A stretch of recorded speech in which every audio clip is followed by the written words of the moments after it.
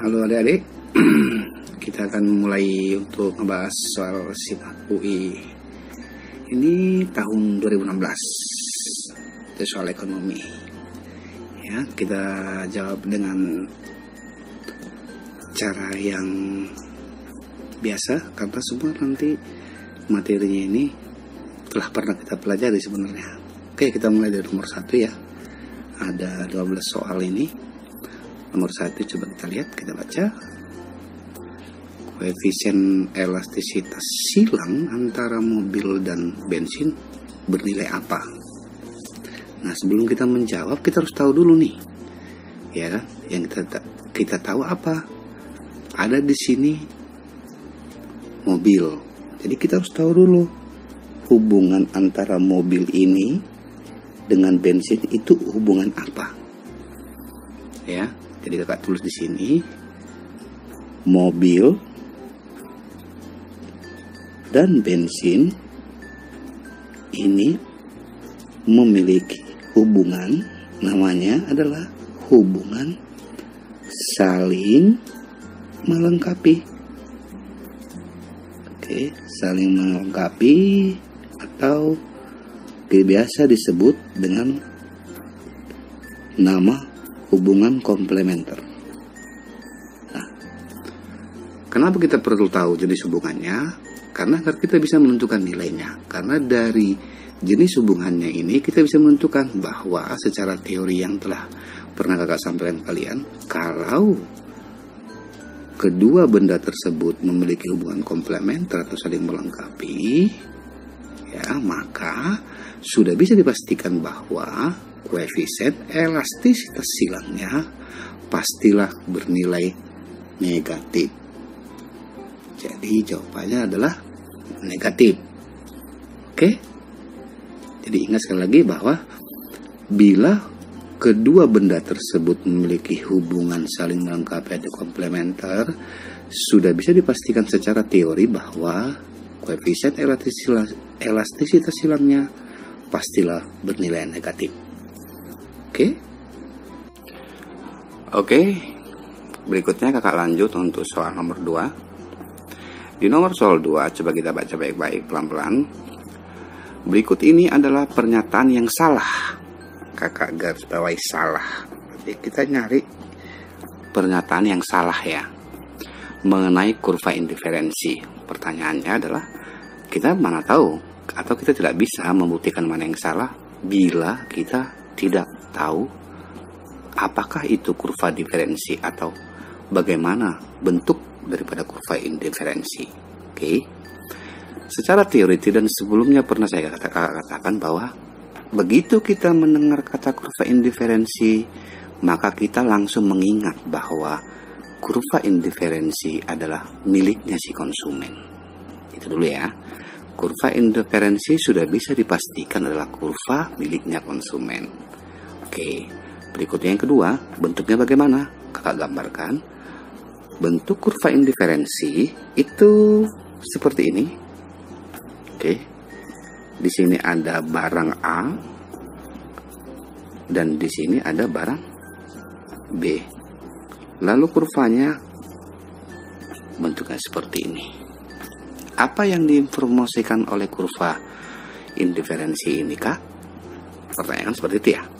Yang diinformasikannya begini, bahwa kurva ini adalah kombinasi atau kurva yang menunjukkan kombinasi. Kombinasi apa?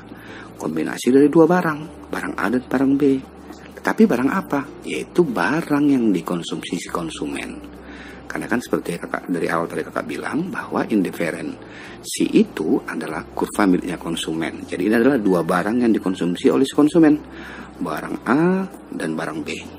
Jadi kurva yang menunjukkan kombinasi dua barang yang dikonsumsi oleh konsumen. Tapi dengan catatan bahwa sepanjang kurva kepuasannya tetap sama. Jadi misalnya, kalaupun nanti, jadi untuk mengkonsumsi barang B dan barang A dan barang B, Bila misalnya kamu ingin menambah jumlah barang A yang dikonsumsi, maka si barang B ini harus kamu kurangin. Oke? Misal barang B ini barang A awalnya dikonsumsi 6 barang B ini dikonsumsi awalnya 4 lalu dirubah polanya. Si barang A mau kita naikin nih konsumsinya. Katakan menjadi 7 sehingga si barang B harus kita kita kurangin. Misalnya katakan 3 gitu. Ya. Jadi untuk ketika satu barang ingin ditambah maka barang satu lagi harus kita kurangin. Ya oke? Nah kita cek sekarang jawabannya.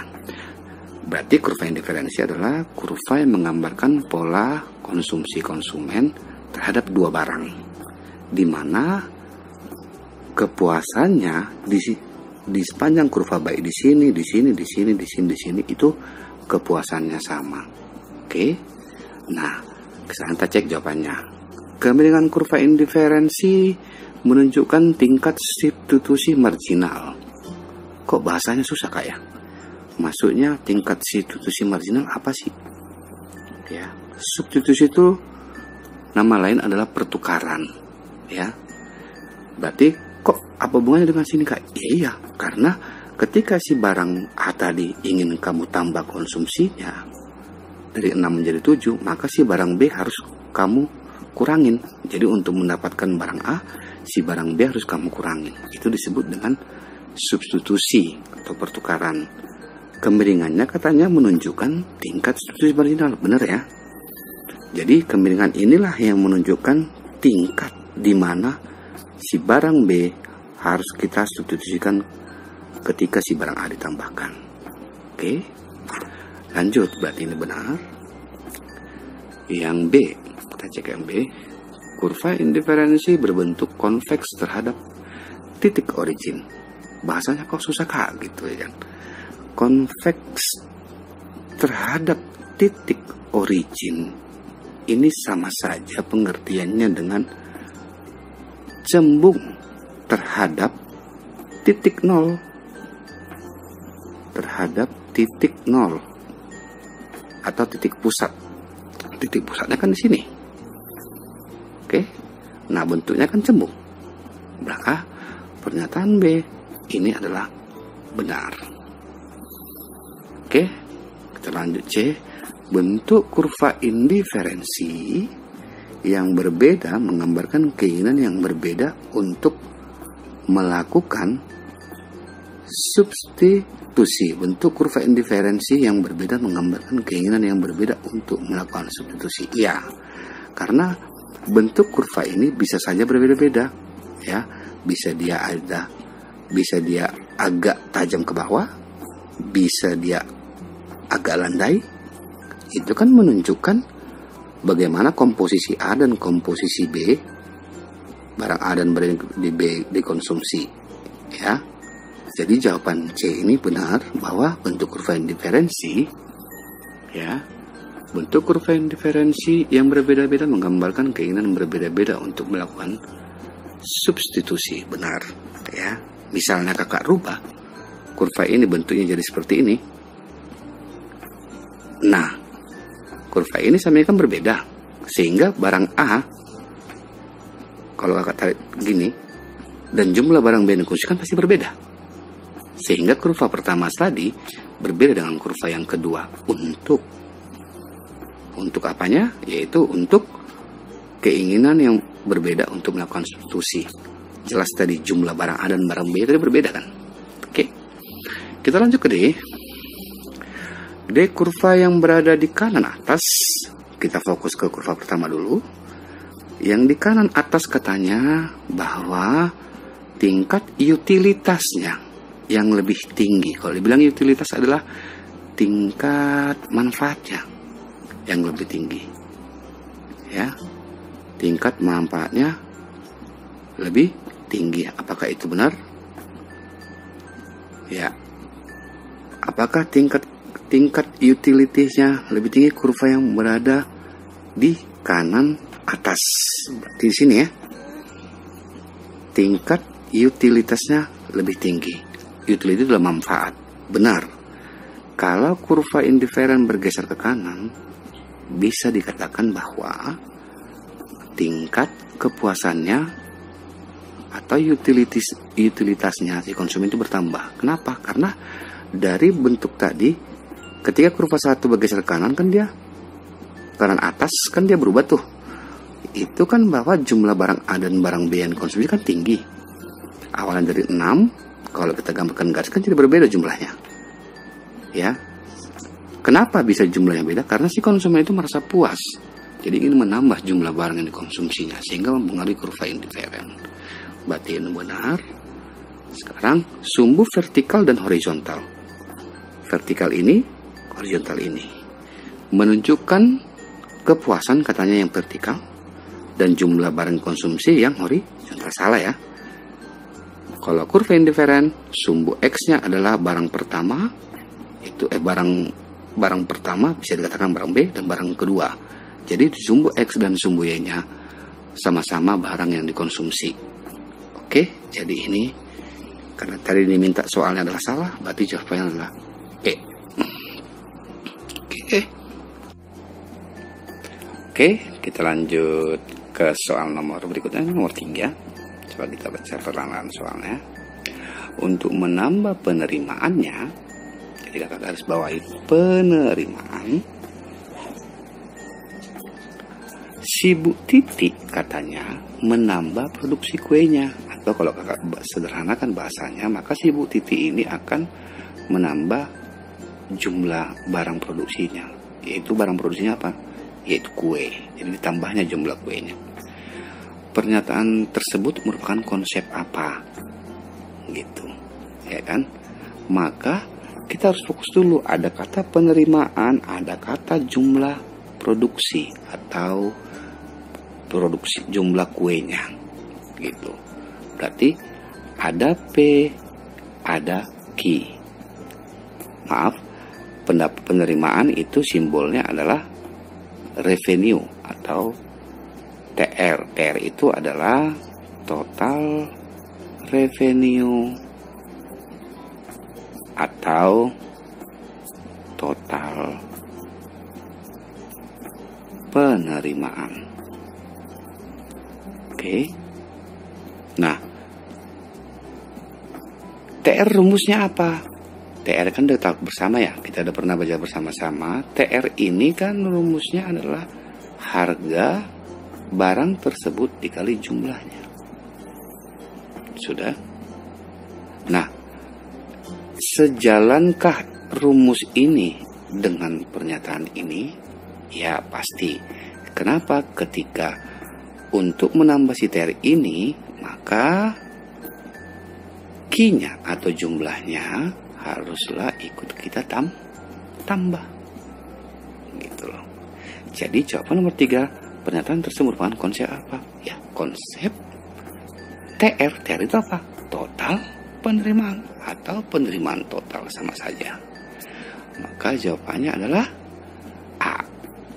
Ya, jadi untuk menambah penerimaan maka jumlah kue atau kuantitinya atau kinya haruslah ditambah.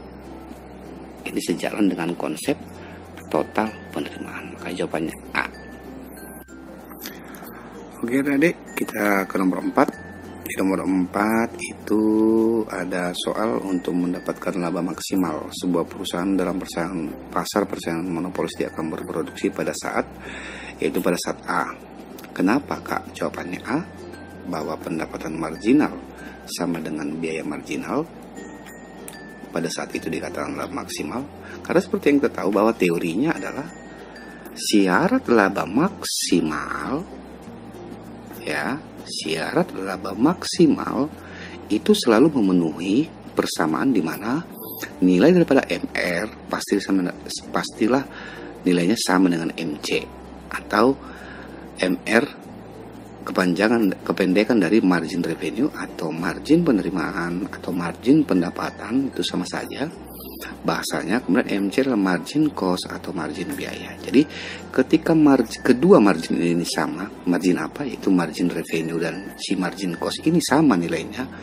Di saat itulah terkategori atau bisa kita katakan bahwa perusahaan itu telah berada pada titik laba maksimal. Jadi umumnya setiap perusahaan akan berusaha untuk beroperasi atau berproduksi pada kondisi di mana nilai MR-nya sama dengan nilai MC-nya. Oke? Sehingga jawabannya kita pastikan adalah A. Oke, kita lanjut sekarang ke soal nomor 5. Ya.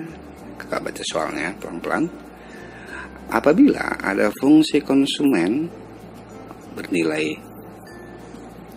C sama dengan 100 tambah 0,8 YD ya dan investasi bersifat otonomous di mana I itu investasi ya atau simbol daripada investasi itu bernilai 150 dan pengeluaran pemerintah pengeluaran pemerintah itu simbolnya G government itu nilainya 250 dan pajak sebesar atau T T itu adalah simbol pajak tax nilainya 0 maka kondisi keseimbangan ekonomi menjadi berapa?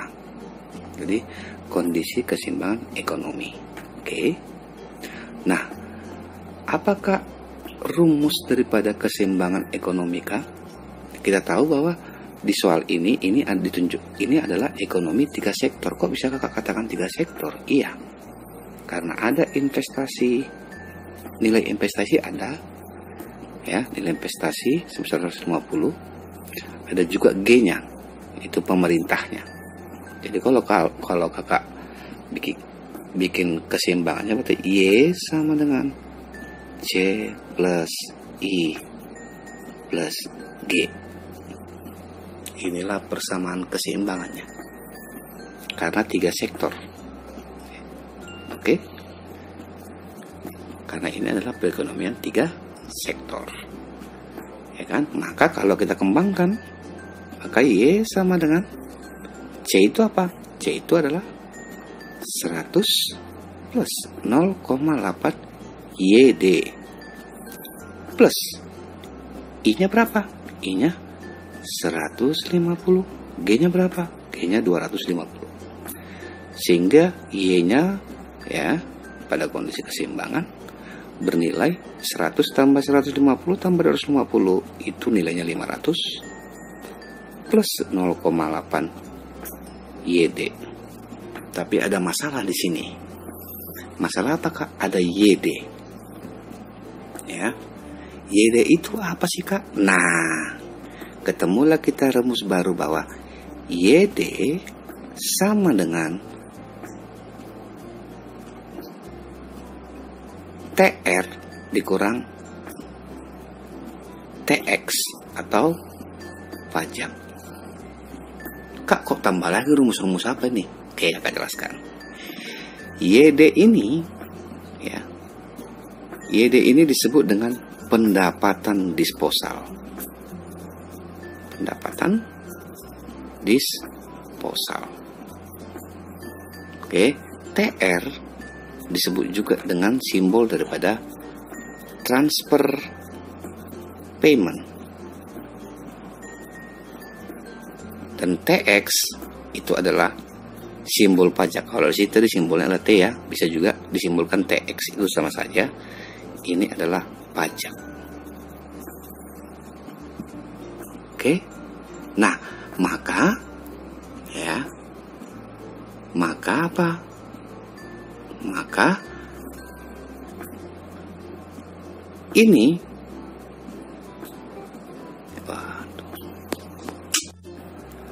Oke, kita lanjut sekarang ke soal nomor 5. Ya. Kakak baca soalnya pelan-pelan.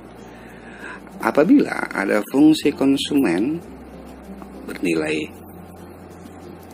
C sama dengan 100 tambah 0,8 YD ya dan investasi bersifat otonomous di mana I itu investasi ya atau simbol daripada investasi itu bernilai 150 dan pengeluaran pemerintah pengeluaran pemerintah itu simbolnya G government itu nilainya 250 dan pajak sebesar atau T T itu adalah simbol pajak tax nilainya 0 maka kondisi keseimbangan ekonomi menjadi berapa? Jadi kondisi keseimbangan ekonomi.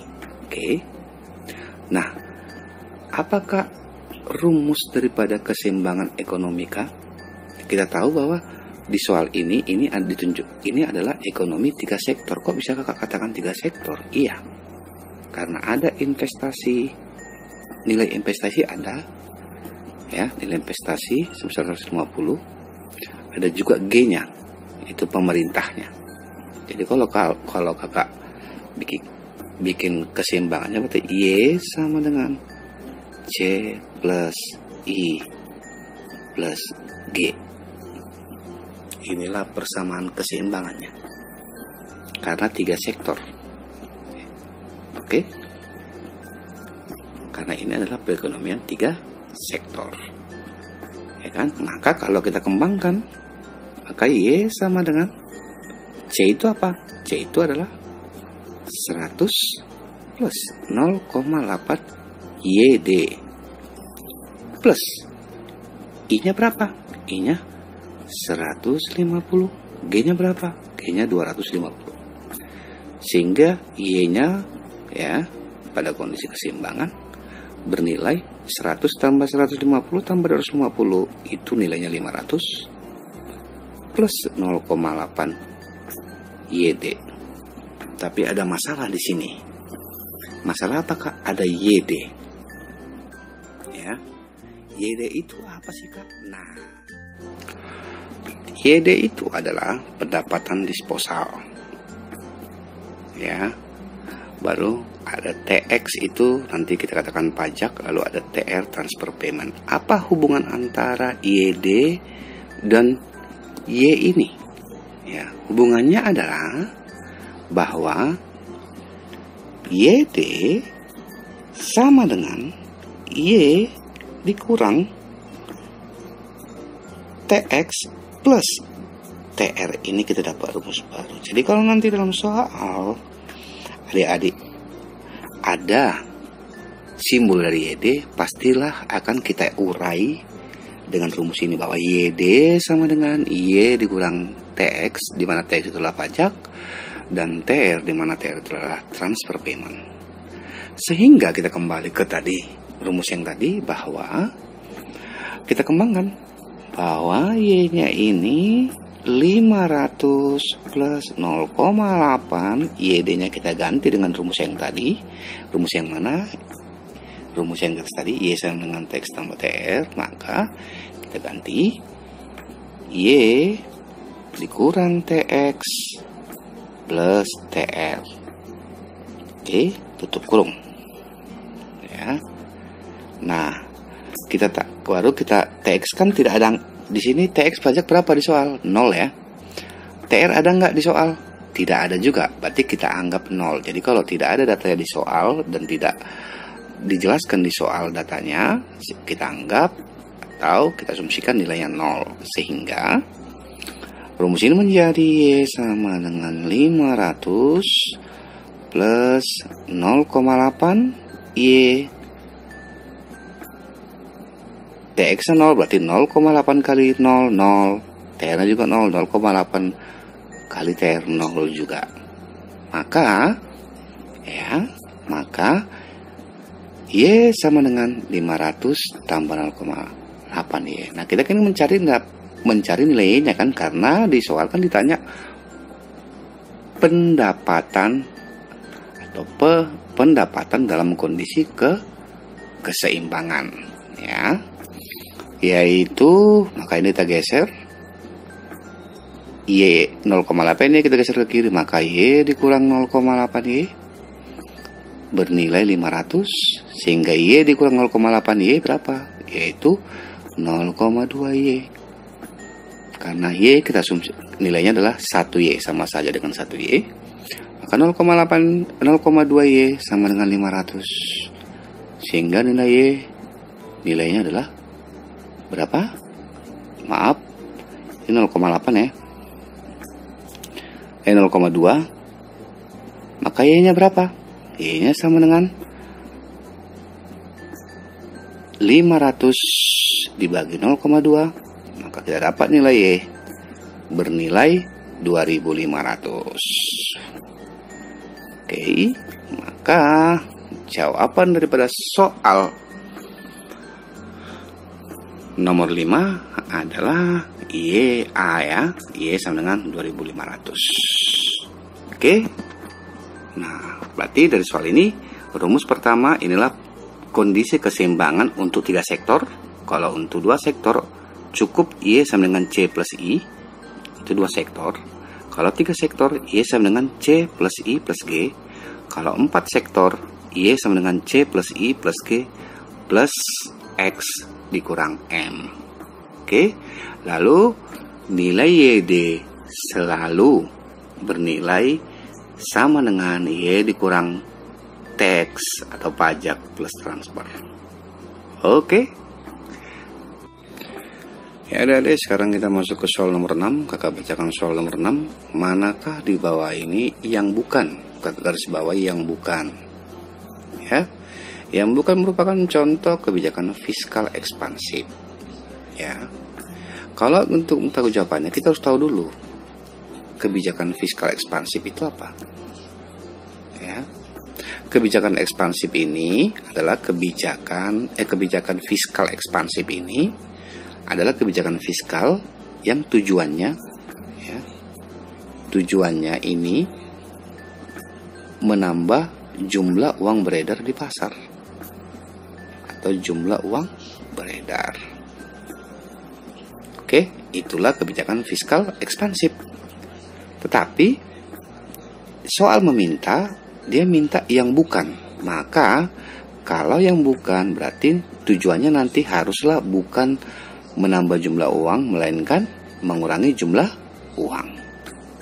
Oke, berarti jawabannya ini nanti haruslah mengarah kepada mengurangi jumlah uang beredar.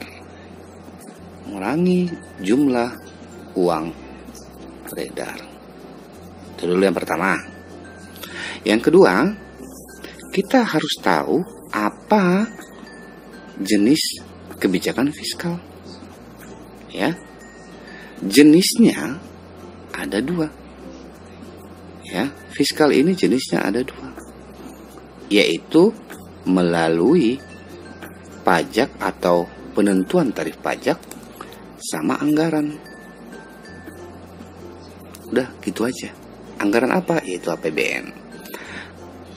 Kemudian perinciannya adalah kalau nanti dia untuk tujuannya untuk menambah jumlah uang beredar ini, maka si pajaknya nanti akan diturunkan tapi yang diminta jawabannya adalah mengurangi jumlah uang. Maka kebijakan fiskalnya, pajaknya adalah dinaikkan agar berlawanan dengan ini. Karena kan tujuan jawaban yang diminta adalah mengurangi jumlah uang beredar. Oke, maka jawabannya apa? Yaitu pemerintah menurunkan apa? Pajak. Apakah itu benar? Salah, salah kenapa? Karena ketika pajak diturunkan pasti otomatis jumlah uang beredar bertambah. Ya, harusnya jumlah pajak dinaikkan agar jumlah uang beredar berkurang. Sementara kan tadi keinginan kita adalah jawabannya mengurangi jumlah beredar. Berarti nomor satu, yang A ini salah. Yang kedua, ya kan? Kalau anggaran gimana kak? Kalau anggaran agar menambah jumlah uang, maka anggaran tersebut itu dibuat defisit atau diboroskan gitu. APBN dibikin boros atau beli banyak barang gitu loh. Oke. Tetapi ka, karena tujuan kita atau jawaban yang kita inginkan adalah mengurangi jumlah murid, maka si anggaran tadi jangan diborosin, tapi kita bikin irit atau surplus atau diirit gitu loh. Sekarang cek. Kalau subsidi BBM Apakah itu menggambarkan pengiritan atau pemborosan? Kalau pemerintah menghapus subsidi, pengiritan ya, berarti bisa dikategorikan dia merupakan salah satu contoh kebijakan anggaran yang surplus sesuai dengan tujuan atau jawaban yang kita inginkan. Maka jawabannya adalah B. Kenapa B kak? Berikutnya C. Pemerintah membeli pesawat tempur Rusia. Kalau membeli pesawat berarti kan pengen boros. Berarti itu anggaran defisit. Berarti itu untuk tujuan menambah jumlah beredar. Begitu juga memberikan subsidi, begitu juga jika membangun bendungan di beberapa daerah. Saya jadi di nomor 6 kebijakan fiskal cuma ada dua, yaitu melalui pajak, ya, melalui pajak. Pajaknya dibikin dua model. Kalau nggak pajaknya dinaikin, pasti pajaknya diturunin. Kalau pajak dinaikin, efeknya adalah atau tujuannya adalah untuk menambah jumlah uang. Jika pajaknya turunin, untuk mengurangi jumlah uang. Lalu yang kedua adalah dari anggaran. Anggarannya cuma dibikin dua, yaitu diborosin atau bisa dikatakan defisit atau diiritin atau dibikin surplus gitu loh. Oke? Nah, lanjut kita ke soal nomor 7. Katanya seperti ini, kakak baca ya. Kemakmuran masyarakat suatu negara dapat dilihat berdasarkan besarnya apa. Ya, nah ini hati-hati kita di sini menjawab karena banyak juga yang terkecoh. Nah, di soal meminta untuk kata kemakmuran. Ya. Kata kemakmuran. Mungkin bagi yang kurang paham pasti akan menjawabnya pendapatan per kapita. Ternyata itu apakah itu benar? Belum terlalu benar. Kenapa? Karena tingkat kemakmuran suatu masyarakat ya bahwa secara umum telah disepakati bahwa dalam pengukuran tingkat kemakmuran masyarakat ya yang diukur adalah bukanlah pendapatan per kapitanya melainkan tingkat ketimpangan distribusi pendapatannya itulah merupakan ukuran daripada tingkat kemakmuran masyarakat di suatu negara yaitu apa yaitu seberapa besar ketimpangan distribusi pendapatannya? Maka jawabannya adalah E. Ya, di mana ketimpangan distribusi pendapatan ini nanti akan diukur ya. Diukur dengan indeks gini. Ya, itu yang pertama, umumnya dunia akan memakai indeks gini dalam pengukuran kemakmuran masyarakat suatu negara. Atau yang kedua, menggunakan rekomendasi dari Bank Dunia. Bank Dunia memberikan semacam perhitungan tersendiri untuk menentukan tingkat kemakmuran masyarakat di suatu negara. Oke? Nah, kita lanjut ke nomor 8. Mudah kan ya? Di nomor 8. Di nomor 8, soalnya seperti ini kakak baca ketika perusahaan Keramat Jati melakukan perawatan berkala atas mesin bus. Jadi mesin busnya dirawat secara berkala berupa penggantian oli. Transaksi tersebut akan menyebabkan ya menyebabkan apa? Ya pastilah akan menambah beban. Namanya apa? Beban perawatan. Ya, atau beban dalam bahasa normalnya disebut dengan biaya biaya operasional. Ya, biaya operasionalnya berupa perawatan daripada mesin bus dari perusahaan Keramat Jati. Itu maka jawabannya menambah beban perawatan. Ya. Jadi apabila suatu perusahaan memiliki sebuah kendaraan ya, lalu kendaraannya itu kalau di akuntansinya ditulis sebagai kendaraan, nah bila biaya perawatannya itu pastilah disebut dengan beban perawatan apabila ada perawatan untuk mesin-mesinnya. Oke? Nah, Oke, sekarang kita ke soal nomor 9. Kakak bacakan soal nomor 9. Perusahaan dagang pelangi akan menyusun laporan keuangan sehingga membutuhkan informasi mengenai saldo persediaan. Garis bawahi dia pengen membutuhkan mengenai saldo persediaan yang terbaru. Ya. Lalu katanya, Anda sebagai staf akuntansi melihat neraca saldo sebelum penyesuaian pelangi pada 31 Desember dan terdapat saldo sebagai berikut. Jadi ada da data ini adalah data yang didapat sebelum adanya penyesuaian. ada katanya nilai persediaan itu 20 juta ini kakak tulis dulu bahwa data ini adalah sebelum adanya penyesuaian. Oke. Katanya ada nilai persediaan di angka 20 juta penjualan di angka 70 juta kemudian ada pembelian 60 juta retur pembelian 20 juta 2 juta diskon pembelian 1 juta biaya transportasi pembelian itu 8 juta.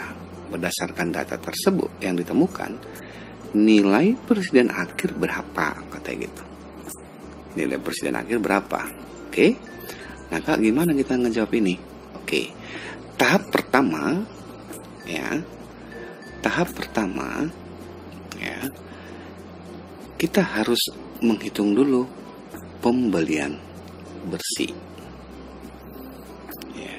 Kenapa kak hitung pembelian bersih kak dulu? Gitu ya. Kenapa harus kita hitung dulu pembelian bersih? Ya. Karena ada kaitannya dengan nanti untuk mencari nilai persediaan akhir. Ya. Tapi adakah rumus yang bisa masuk kan? Dari teori yang pernah kita pelajari bila ada data seperti ini. Ya kan? Adakah? Ada. Ya, coba kita hitung dulu. Pertama pembelian bersih dulu kita hitung. Pembelian bersih pembelian bersih semua udah tahu ya rumusnya ya pembelian bersih itu kan pembelian plus beban angkut pembelian plus ya retur pembelian dikurang potongan pembelian. Kau ulangin ya. Pembelian bersih di, adalah pembelian ditambah beban angkut. Dikurang ya bukan ditambah dikurang. Retur pembelian dikurang potongan pembelian. Oke maka langsung aja kita hitung. Kita langsung aja pembelian berapa di sini? Pembelian itu di angka berapa? 60 juta. Beban angkutnya berapa 8 juta maka 60 juta tambah 8 juta 68 juta. Returnya berapa? 2 juta. Berarti 68 juta tadi dikurang 2 juta menjadi 66 juta. Kemudian ada diskon pembelian sejuta. Berarti 66 juta dikurang 1 juta. Berarti bernilai 65 juta. Oke itu untuk pembelian bersih. Oke nah kemudian ya nilai pembelian bersih ini kita tambahkan dengan dengan apa? Ya kan? Dengan presiden awal. Kenapa harus kita tambahkan kak dengan presiden awal? Karena berhubungan dengan rumus BTUD. BTUD ini adalah barang tersedia untuk dijual yaitu persediaan awal plus pembelian bersih. Oke. Berarti persediaan awalnya berapa tadi? Yaitu 20 juta tambah 65 juta.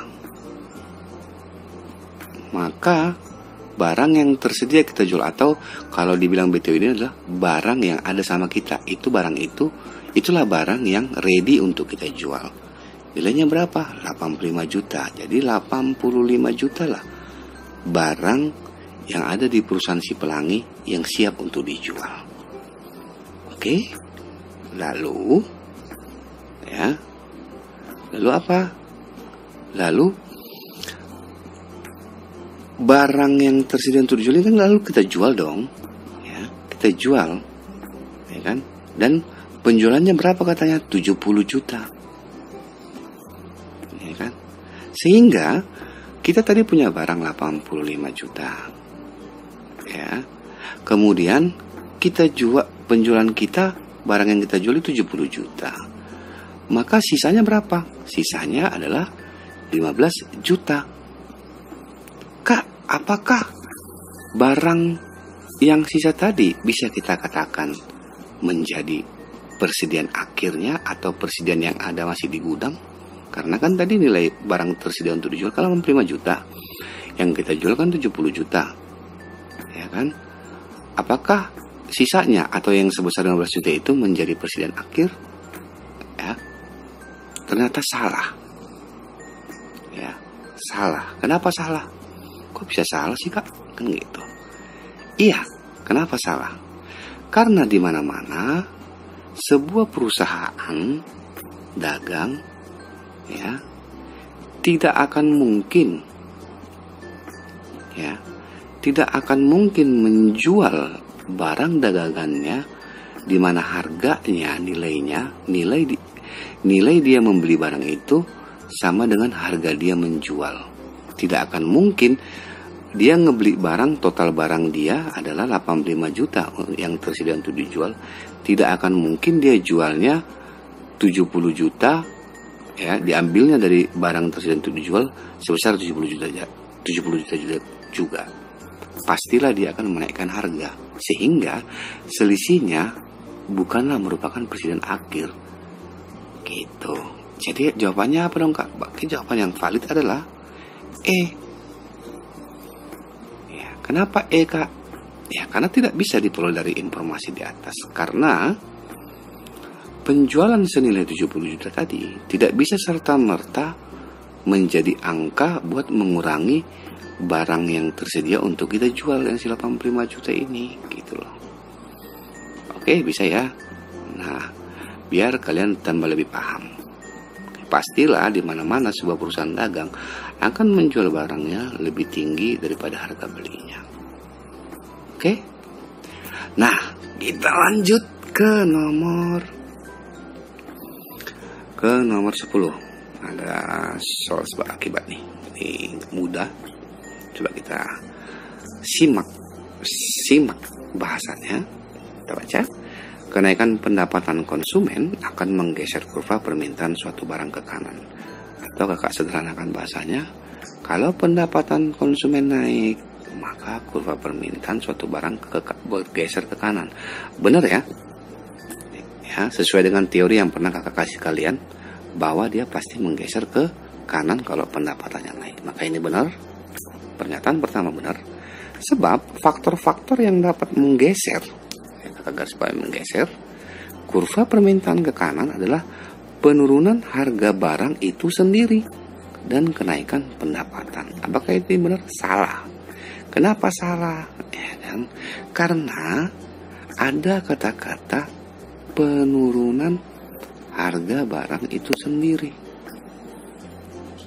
Ya, sebagaimana yang pernah ajarkan kalian bahwa kalau penyebabnya harga barang itu sendiri, maka dia tidak bisa menggeser kurva permintaan, tetapi dia hanya menyebabkan kurva menjadi bergerak bukan bergeser.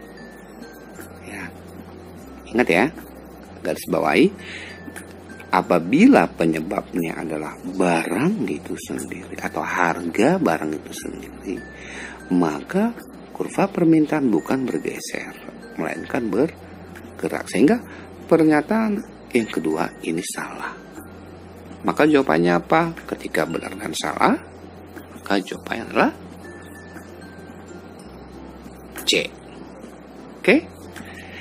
Nah, kita lanjut ke nomor soal nomor 4, 11. Tinggal sedikit lagi nih ya. 11 tinggal sampai kita ke nomor 15 di nomor list 11 apa yang kita lihat situ ada apa? Perusahaan di pasar persaingan sempurna tidak memiliki kekuatan untuk menentukan harga di pasar. Benar. Sedangkan perusahaan monopoli memiliki kekuatan untuk menentukan harga di pasar. Benar ya? Ya, ini pernyataan satu benar-benar bahwa siapa pun dia perusahaan yang berada di pasar persaingan sempurna tidak memiliki kekuatan sama sekali dalam menentukan harga di pasar karena dia hanya bersikap mengambil harga di pasar. Tetapi kalau untuk monopoli, karena perusahaan monopoli adalah perusahaan tunggal atau cuma dia yang menjual barang tersebut, maka dia bisa menentukan harga di pasar. Oke, berarti pernyataan pertama benar. Sebab produk seperti bensin, listrik, serta jasa telekomunikasi merupakan contoh barang dan jasa yang diproduksi di pasar monopoli karena tidak adanya hambatan untuk masuk masuk ke pasar karena kakak ulangin karena tidak adanya hambatan untuk masuk ke pasar. Kalau untuk produknya ya listrik itu yang benar masuk pasar monopoli. Tadi ada yang salah pernyataan sini. Itu apa? Dikatakan bahwa tidak adanya hambatan untuk masuk ke pasar. Sementara di pasar monopoli, namanya juga monopoli, penjualnya satu gitu loh. Jadi hambatan ya bukan nggak ada, ya memang nggak bisa sama sekali. Bukan tidak ada hambatan, tidak bisa sama sekali. Ya. Jadi karena penjualan cuma satu. Ya. Maka hambatan 100% pasti ada hambatan gitu loh. Karena cuma dia yang bisa. Cuma perusahaan tersebut. Contoh kayak listrik kan PLN. Ya maka pernyataan kedua ini salah. Karena karena apa? Karena dia mengatakan bahwa di pasar monopoli tidak ada hambatan untuk masuk pasar. Salah ya. Maka benar salah jawabannya C Oke. Lanjut ke nomor 12. Di nomor 12, fungsi Otoritas Jasa Keuangan atau OJK, biasa disebut OJK, dalam perekonomian Indonesia adalah untuk menyelenggarakan sistem sistem dan pengawasan yang terintegrasi terhadap keseluruhan kegiatan pada sektor jasa keuangan. Benar ya? Ya, ini benar. Ya. Kok tahunya dari mana, Kak? Lihat aja di website ojk.go.id itu jelas ada fungsi wewenang fungsi hak dan wewenang OJK ada di situ ya karena sudah telah ditentukan undang-undang. Oke, sebab OJK membantu Bank Sentral dalam mengatur jumlah uang yang beredar pada perekonomian untuk stabilitas ekonomi salah ya. Mengenai peredaran uang, OJK tidak terlibat. Itu adalah tunggal daripada bank sentral untuk mengatur jumlah uang yang beredar. Tetapi OJK mengawasi untuk setiap kegiatan di sektor jasa keuangan. Ya. Jadi untuk mengatur jumlah uang beredar itu bukanlah bagian daripada OJK. Oke? Hal itu bisa diperkuat dengan apabila kita lihat fungsi tugas dan wewenang daripada OJK di website OJK ya. Karena telah ditentukan oleh undang-undang. Oke. Benar salah maka jawabannya C. Lanjut. Di nomor 13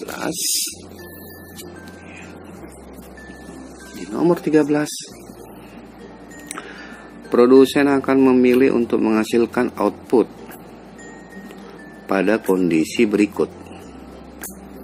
Ya, pasti produsen akan memilih menghasilkan output atau bahasa sederhananya sebenarnya si produsen ini dia lebih memilih untuk berproduksi pada kondisi apa? Ya seperti soal yang tadi ya, yang nomor berapa tadi ya, yang tentang laba maksimum ya pada kondisi laba maksimum. Gitu loh. Itu yang pertama. Itulah uh, kondisi ideal untuk dia berproduksi. Yang kedua, yaitu ketika isokos bersinggungan dengan isopan. Ini. Oke.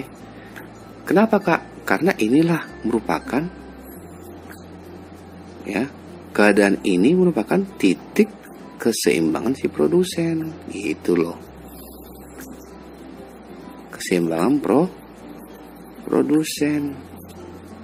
Ya, ketika kurva isokos bersinggungan dengan kurva isopan itu disebut dengan titik keseimbangan produsen. Apa sih maksudnya titik keseimbangan produsen adalah titik di mana si produsen berproduksi pada biaya yang lebih murah atau paling efisien dan pada jumlah yang paling maksimum. Oke. Nah, satu tadi benar nggak sih kak? Kalau satu ini coba kita baca anggaran produksi lebih besar dibandingkan harga total dari kedua faktor produksi nggak juga. Ya, nggak jaminan bahwa jika anggarannya lebih besar dibandingkan harga total, ya kan? Faktor produksi nggak juga. Oke. Yang ketiga, harga kedua faktor produksi pada kondisi paling merah. Tidak, Kemudian perbandingan harga kedua faktor produksi sama dengan perbandingan output marginalnya. Iya benar. Ya. 24. Maka 24 jawabannya adalah C. Oke. Nah, kemudian nomor 14 Berikut ini adalah kondisi pada pasar persaingan sempurna. Pasar persaingan sempurna sebagaimana kita tahu bahwa di pada pada pasar persaingan sempurna bahwa penjual dan pembeli itu tidak bisa menentukan harga ya, sama-sama berperilaku atau mengambil posisi sebagai pengambil harga atau price taker baik penjual atau pembeli. Kita cek kurva permintaan perusahaan berbentuk horizontal. Horizontal itu berarti dah datar. Ya, ini benar karena pada persaingan sempurna elastisitasnya itu elastisitas sempurna. Elastisitas sempurna itu digambarkan dengan kurva horizontal atau mendatar. Kemudian setiap perusahaan menghasilkan output dengan jenis dan spesifikasi yang sama benar. Ini benar. Ya. Bahwa jenisnya atau dikatakan homogen. Ya, jenis dan spesifikasinya sama Kemudian yang ketiga, harga keseimbangan tercapai pada saat penawaran sama dengan permintaan benar.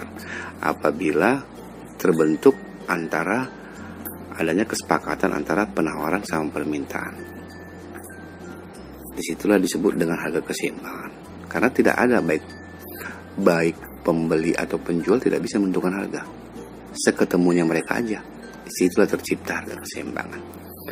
Oke, kemudian permintaannya bersifat elastis salah ya seperti yang kak bilang tadi untuk menjelaskan nomor satu bahwa di pasar persaingan sempurna permintaannya bersifat elastis sempurna. Maka satu dua tiga jawabannya adalah A. Oke. Lanjut kita ke soal yang terakhir nomor 15. Ya. Di nomor 15 dibilang kebijakan substitusi impor yang dilakukan pemerintah di negara dengan sistem perekonomian terbuka. Kalau dibilang sistem perekonomian terbuka berarti negara tersebut terbuka untuk negara lain dalam berdagang memiliki manfaat. Berarti manfaatnya apa? Apabila ada kebijakan substitusi impor. Ya. Kalau dibilang substitusi impor ya yaitu kita mengganti misal awalnya kita seperti yang kakak bilang tadi di soal nomor satu. Eh kalau nggak salah soal nomor satu ya. Substitusi itu kita mengganti. Ya, jadi misalnya kita uh, impor barang dari negara A tapi kita impor juga sebagian dari negara B gitu itu namanya substitusi. Atau kita ganti. Awalnya kita dari A kita ganti ke B. Oke kenapa kita? Apa manfaatnya? Ya kan apa manfaatnya itu ya adalah yang pertama berpartisipasi dalam globalisasi ekonomi benar ya? Yang kedua merugikan perusahaan asing. Enggak kita nggak ada pernah tujuan di mana-mana. Perdagangan internasional itu tidak ada tujuannya untuk merugikan ya. Yang ketiga adalah mempercepat kemitraan dagang dengan negara tangga benar ya? Maka jika satu benar dua salah. Kemudian tiga benar maka jawabannya adalah B. Oke? Nah. Oke adik-adik. Inilah 15 soal tadi. Ya. 15 soal untuk soal simak UI tahun 2016. Oke? Nah, tetap semangat, tetap latihan agar kalian bisa menjawab untuk soal-soal dan latihan berikutnya. Terima kasih.